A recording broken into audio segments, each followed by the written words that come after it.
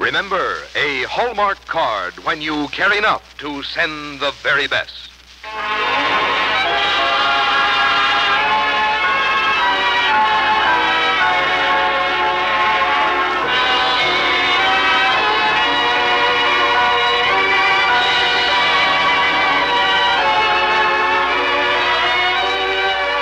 Tonight, transcribed from Hollywood, the makers of Hallmark greeting cards bring you Ann Blyth in Isabel Dick's Wild Orchard on the Hallmark Playhouse.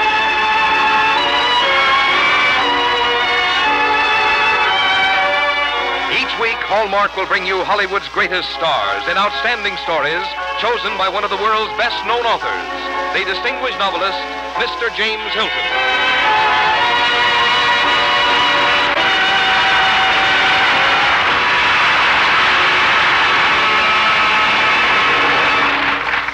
Good evening, ladies and gentlemen. This is James Hilton. Tonight on our Hallmark Playhouse, we present a story by Isabel Dick called Wild Orchard. You know, on our Playhouse, we're rather partial to stories of pioneer life because they do portray so vividly the problems and solutions that made our country great. But now, for a change, we cross the Pacific and tell a story which shows how the same pioneering spirit lived and thrived in the lands down under. Tasmania, where our wild orchard was, and Australia, the great neighboring continent, were built like our own out of the rich and rough life of brave men and women, and their histories are the sum total of countless personal adventures. To star in such an adventure tonight, we have chosen most appropriately one of Hollywood's most delightful actresses, young and enchanting Ann Blyth. And now here is Frank Goss from the makers of Hallmark cards. When you want to remember your friends, there's one way to be sure the card you send receives an extra welcome. Look for that identifying hallmark on the back when you select it. For words to express your feelings and designs to express your good taste, that hallmark on the back is your guide. Like the sterling on silver, it's a mark of distinction that all quickly recognize. And it tells your friends you cared enough to send the very best. And now, Hallmark Playhouse, presenting Isabel Dick's Wild Orchard, starring Ann Blyth.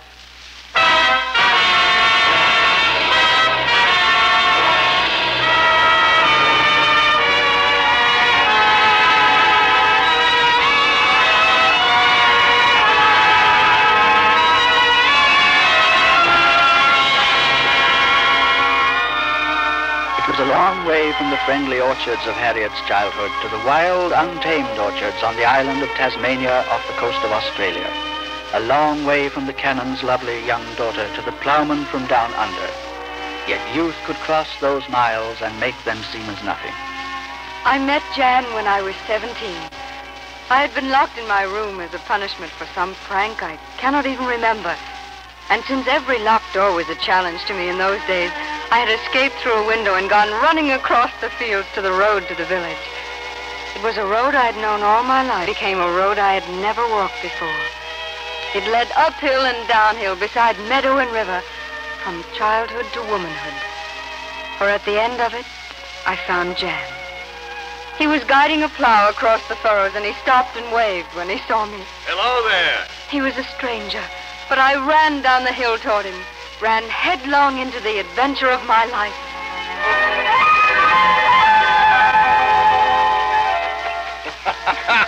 Watch out, you'll fall right on your face. Not today. I won't fall down today. How do you know? Oh, because this is my day. It belongs to me. How do you figure that? Oh, it's mine because I stole it. Oh, you're a queer one. How can you steal a day? Oh, well, I'm locked up in my room right now as far as father's concerned. That's why I've stolen the day. So you're a thief, are you? You must be the daughter of the village reprobate. I am the daughter of the canon.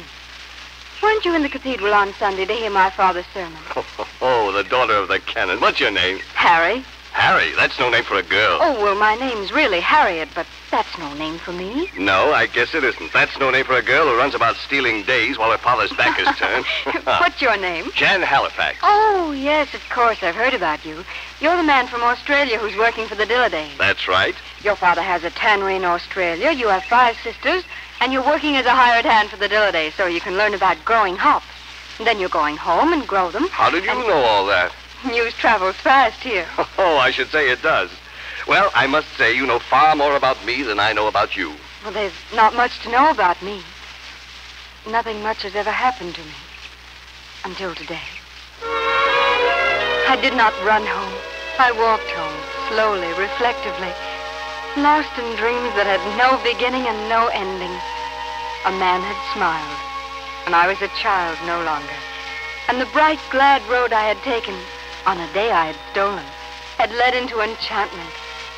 A few days later, I stole an evening and went to the village fair. I saw Jan standing by the carousel. Well, if it isn't the canon's daughter, are you on another stolen outing? As a matter of fact, I am. You're supposed to be locked in your room again? I'm afraid I am. Why? Well, I'm supposed to be locked up tonight because I didn't stay locked up the other day. Here, take my arm. Let's walk down the road a bit, or this episode will be all over the village by morning. oh, it'll be all over the village anyhow, and I may be locked up for a week. But it'll be worth it To escape is worth almost any penalty, is it? to escape and to see you. How am I to take that? Are you flirting with me, teasing me, leading me on? Perhaps. You see, I've only grown up very recently. I suppose I'm still experimenting. Don't experiment on me. Just say what you really mean. Well, I don't know quite what to talk to you about. You come from such a long way off. What is it like in your country? Well, it's rough and untamed. We have to depend on convict labor for a good deal of our work. But there's something growing, beginning, a new country taking shape and form under our hands. And you will be part of it. I am part of it.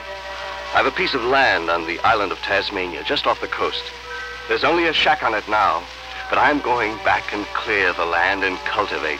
I'm going to build a fine, big house. And will you live in that house alone? I hope not, Harry. I hope not.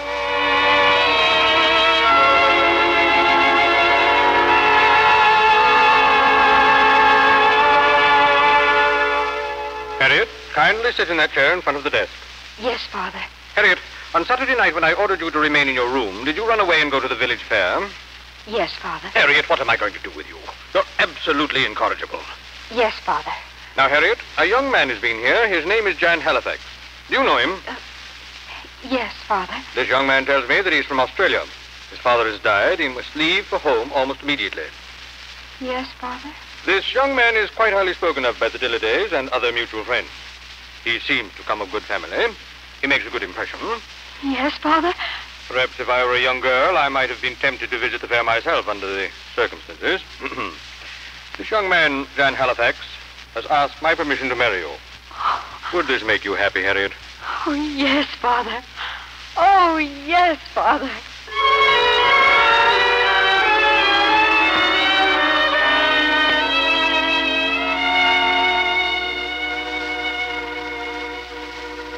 Jan, take thee, Harriet, to my wedded wife, to love and to cherish.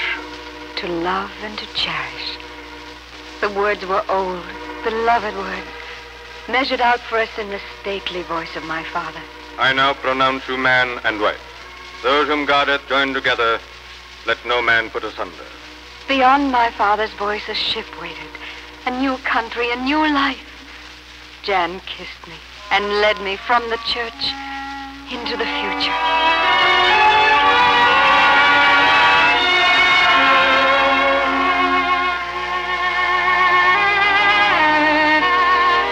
We were months at sea. During the voyage, Jan told me of his island. Tasmania's wild country, Harry. As I warned you, almost all the laborers are convicts from England. And apart from the ones under control are large bands of convicts that have escaped. They roam the countryside at will, pilfering, plundering, sometimes even murdering. Bushwhackers, they're called. I've been wondering now if it's safe to take you there. Oh, you told me there were other women there. Yes, in the settlement. But my land is inland. It's uncultivated and in some ways unprotected. I'm not afraid, Jan. You want me to be with you, don't you? Harry, I want you more than anything in the world. I I can't tell you how I feel about it. My land. Mine. Oh, I can't wait to see it. Oh, tell me again, what's the house like? It's just one room now, one big room built around a stone fireplace. But we'll add to it. Before we're finished, we'll have a mansion. A mansion set in the heart of the wild orchard. You'll see our land before the month is over. And you'll see the house. Oh, Harry, even though it's only one room now, I know you'll like it.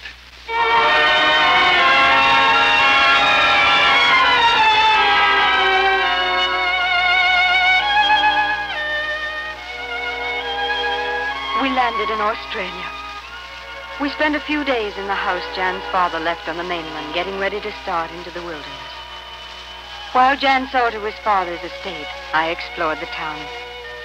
The Halifax tannery was one of the main industries, and the income we would receive from that would help finances until Jan was able to get the land producing. He put an overseer in charge of the tannery, and then he bought a wagon and team, and we loaded it with furniture and supplies. And we were at last on our way. We crossed the bluest water I had ever seen to the island of Tasmania.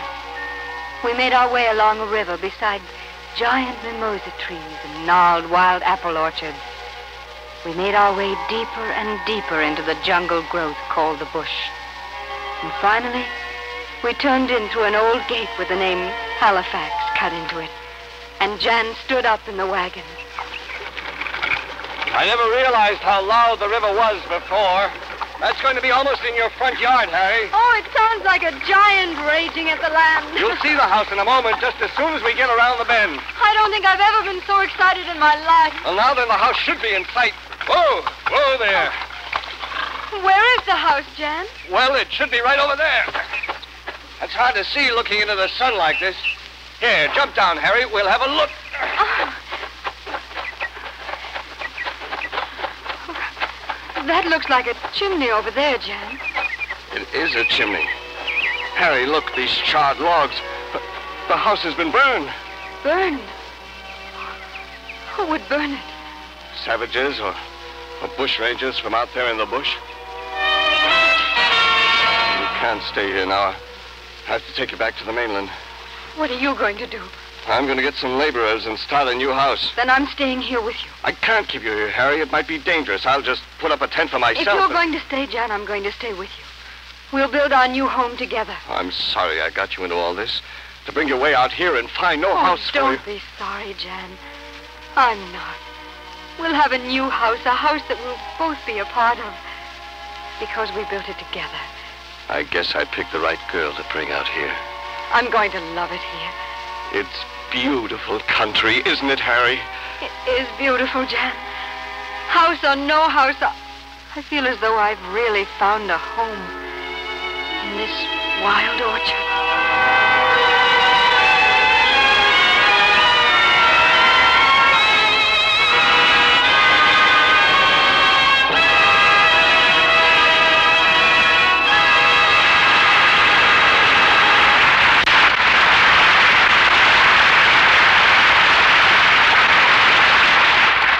In just a moment, we'll return to the second act of Wild Orchard, starring Ann Blyth.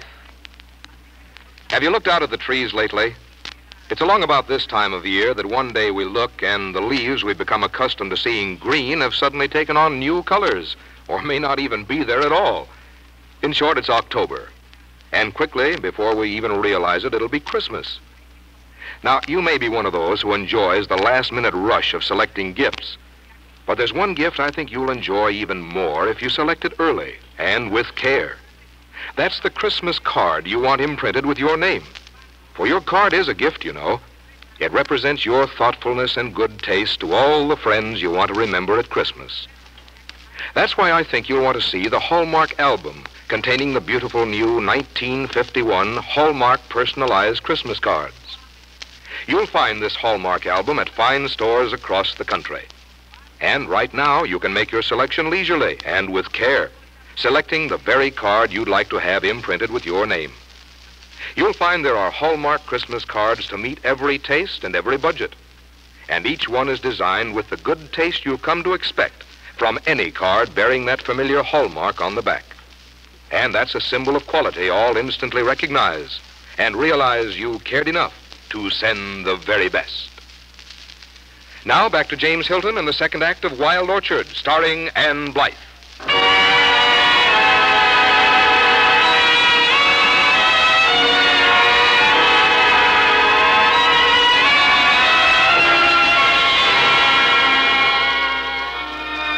So Harriet and Jan started to build their home in the heart of a wild orchard. Jan hired the only labor available, prison labor. Foundations were dug and the building begun. And during those first months in the wilderness, Harriet realized she was going to have a child. I met Jan when I was 17 as I ran down a road I had known all my life. A road that suddenly became one I had never walked before. I followed it out of the land of my own people into a strange foreign land on the other side of the world. I found a home on that road beside a wilderness river. Don't walk in, Harry. It's the custom to carry the bride over the threshold, you know. Here we go. a bride? Why, we've been married over a year now. You're a bride until you settle down as a wife in your new home. Oh. Ah, there you are. oh, funny. I've watched it built every foot of the way, and yet I feel as though I'm seeing it for the first time. Oh, Jan, I'll sit by that fireplace and rock my baby's cradle.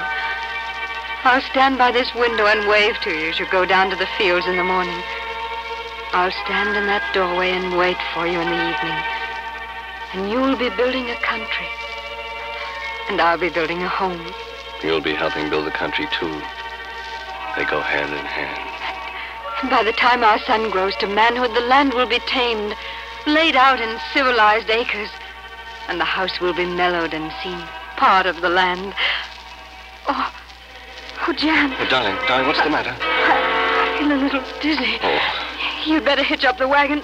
I've got to get to town. The doctor. Harry, sit down. Let me get you some no, water. No, hitch up the wagons, Jan. Hurry. Oh, hurry.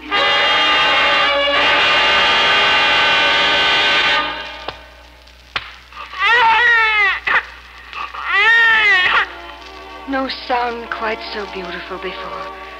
No sound so full of promise, so full of hope. A skillful slap by the doctor, and my son was thrust into the world with a lusty cry of protest. I held him in my arms and thought of England. I thought of fine old houses and cultured gardens. I thought of trees, bent a little with years of fruitful giving, crouched just right for a child to I thought of all the wonderful things a boy might see and do in England. And then I thought of Tasmania. I thought of my son growing up in the bush country. There was much he would miss, but he would see for himself the effort, the labor, the strength, the sacrifice that must go into a home. Things would not come easily for him. All that came would have to be earned. He might gain more than he lost by being born in the wilderness. So I held him against my heart and dreamed and thought and prayed.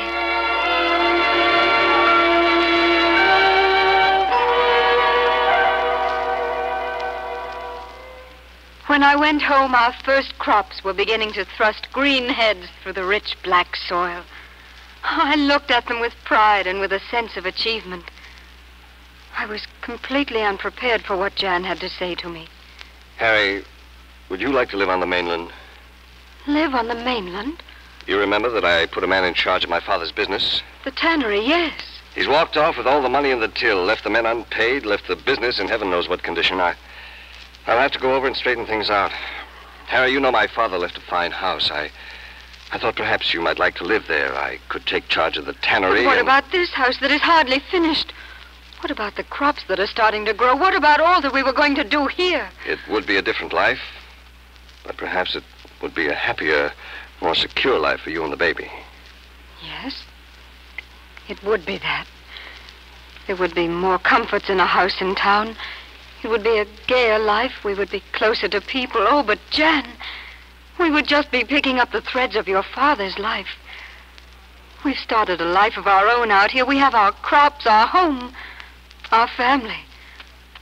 This land, it's part of you. It's, it's your life. Jan, I want you to sell the tannery. Sell it? Yes. Sell it so this discussion can never come up again. This is where you belong. It's where I belong. And it's where our son belongs. If I sell the tannery, it'll be at a loss, and we won't have the income we've had from that behind us. We'll manage. Other people have managed, and we can do it. It's what you want, isn't it, Jan? Isn't this where you want to live? It is where I want to live, Harry. Then we'll stay, Jan. We'll stay.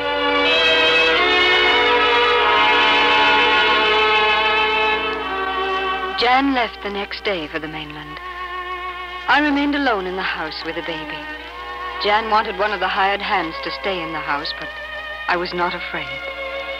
It did not even occur to me to be frightened until I entered the house one night about dusk and found a strange man in my living room. Then and only then did I think of the bands of roving convicts, the bush rangers. The man that sat at ease in my living room had the manners of an English gentleman.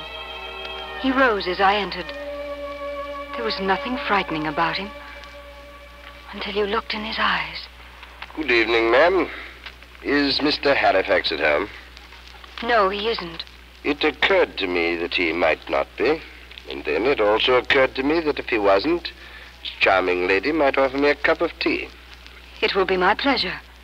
The kettle is on. It will soon be hot. I don't think it was wise of Mr. Halifax to leave you alone and unprotected. He didn't think it was wise either, but I persuaded him that I would be quite all right. Tell me, whatever made a woman like you come to a country like this? What brought you here? I'm not here by choice. You must have chosen whatever it was that brought you here.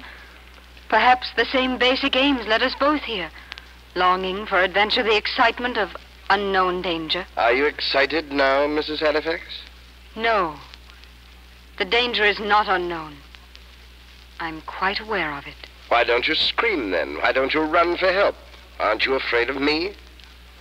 Let me prepare your tea. I have 30 men out there. You're alone, quite alone. We planned to rifle the house, and if you made trouble, silence you. Do you take milk with your tea? I could almost believe I was in an English drawing room again, being soundly rapped on the knuckles by a disapproving aunt. Rifle the house, if you will. I have learned in the wilderness that one can live without any possessions. Burn the house if you like. I've also learned that all houses can be built again.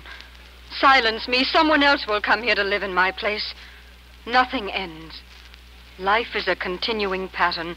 One person puts something down, another picks it up. No.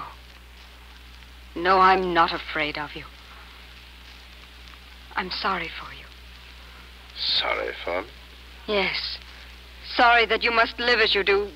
Sorry that you must steal when others can earn. Have you any idea who I am? Yes. You are a man without a home, without a name, without a family. I could not possibly fear you. My pity is too great. I came back early to surprise you, Harriet. Why? Didn't realize you had a guest. This gentleman lost his way and stopped by to ask some directions, Jan. Can I help you, sir? Uh, thank you, no. Your wife has already obliged. Good day, Mrs. Halifax. You're quite right. I had lost my way. I may not find my way, although your directions were quite good. But I shall remember you on my journey. Good day. He didn't give his name. I didn't ask for it. I was worried about you. The bushrangers are out again. Oh, I've been quite all right, darling. Except I missed you. Harry, I sold the tannery. You sold the tannery. Oh, Jan, that's wonderful news. Wonderful news. Did you miss me? Oh, I missed you very much. Oh, you know my legs are buckling under me. I think I'm a little tired. All the excitement of... That man upset you. What did he say to Oh, you? no. No, the man didn't upset me. The man made me realize how very fortunate you and I are. Oh, we may not have much money, we may not have many worldly possessions, but we have each other. We have a home, our crops, and more than anything else, we have the future, Jan. We have a future to plan and dream and create. We have found a world here in the heart of a wild orchard.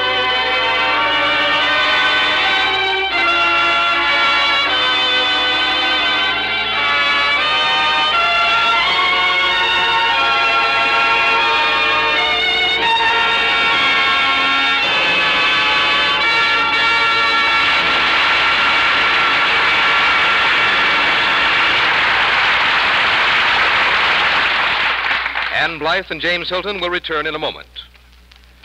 A few minutes ago, I mentioned that your Christmas card is really a Christmas gift from you to many different people. As such, you have several things to consider when making your choice.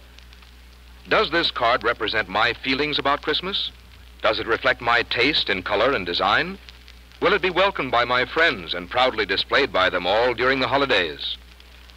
You can be sure of the answer to these questions if you ask to see the Hallmark Christmas card album when you go in to select the card you want imprinted with your name. For in the large and beautiful Hallmark album, you're sure to find the very card that expresses your sentiments exactly. Whether you want a gay, light-hearted, personal approach or a more formal but still warm and friendly greeting. When you stop to think that your Christmas card often is your only contact with friends who live far away or others you don't see frequently, surely you'll want your card to have that hallmark on the back, which tells your friends you cared enough to send the very best. Here again is James Hilton. You gave us a fine performance, Ann Blyth. Thank you. It's always so nice to be on the Hallmark Playhouse with you, Mr. Hilton. I like the stories you select. And, of course, Hallmark Cards and I are old friends. When they appear in my mailbox, I always feel as if I'd just received a very friendly smile. Well, if cards could smile, I'm sure they'd smile at you, Ann. Thank you, Mr. Hilton. You know, I was interested in reading the excellent reviews of the new television show, Hallmark Cards present Sarah Churchill. And I'm looking forward to seeing it here in California October 21st, a week from this Sunday evening. She's so charming. Yes, isn't she? Sarah, you know, was on the Hallmark Playhouse with us last spring, and we all enjoyed her visit. I hope to have her with us again later in the season. So those cities that don't receive her new television show can hear her in one of our Hallmark Playhouse stories. That will be grand. What are you planning for next week on the Hallmark Playhouse, Mr. Hilton? Next weekend, we shall present our dramatization of a novel by the inimitable George Bernard Shaw. It's a gay love story about a prize fighter and a beautiful society girl, Cashel Byron's Profession. And as our star, we shall have Joseph Cotten. Our Hallmark Playhouse is every Thursday. Our producer-director is Bill Gay. Our music is composed and conducted by David Rose. And our script tonight was adapted by Jean Holloway. Until next Thursday, then, this is James Hilton saying good night. Look for Hallmark cards that are sold only in stores that have been carefully selected to give you expert and friendly service. Remember a Hallmark card when you care enough to send the very best. Ann Blyth can now be seen in The Golden Horde, Universal International Technicolor production co-starring David Farrar. The role of Jan tonight was played by Paul Dubov. The canon was Theodore Osborne and the bushranger Ted DeCorsia. This is Frank Goss saying goodnight to you all until next week at this same time, when Hallmark Playhouse returns to present Joseph Cotten in George Bernard Shaw's Cashel Byron's Profession. And the week following, Catherine Drinker Bowen's, John Adams on the American Revolution, starring Van Heflin. And the week after that, Henry Wadsworth Longfellow's Evangeline on the Hallmark Playhouse. Transcribed tonight from Hollywood, this is the CBS Radio Network. This is KMBC, Kansas City, Missouri. Give it proudly. Wear it proudly. For a lifetime of greater pleasure and pride in your diamond, choose with confidence a Helzberg certified perfect diamond. Guaranteed flawless, of fine color, and full 58 facet cut for greater sparkling brilliance. Give it proudly. Wear it proudly. Only Helzberg sells certified perfect diamond.